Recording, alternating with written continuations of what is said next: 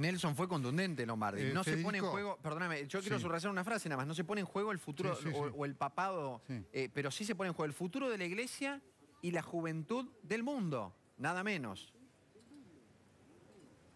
Efectivamente, quería, y lo captaste muy bien, quería subrayar esto como definición Mm. categórica Sí.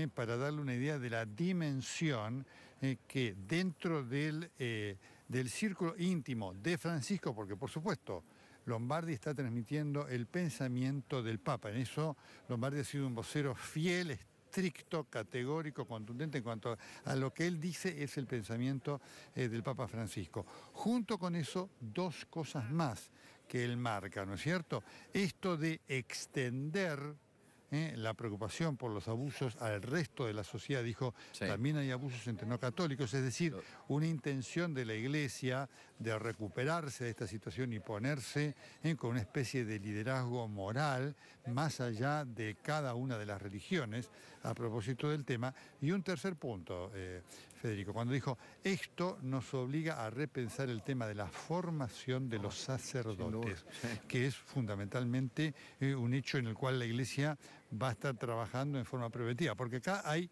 dos circunstancias, dos planos, Federico. Uno que tiene que ver con el pasado y otro con el futuro. El del pasado es muy difícil, porque las víctimas, con todo derecho, están reclamando eh, un resarcimiento que va a ser complejo de obtener.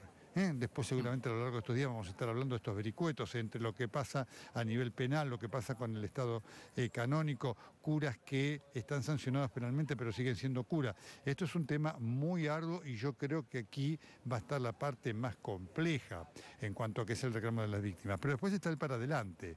El tema para adelante que tiene dos aspectos, el de la prevención y ese tema de la prevención pasa fundamentalmente por la nueva formación, mejor formación con otro enfoque de los jóvenes sacerdotes. Eh,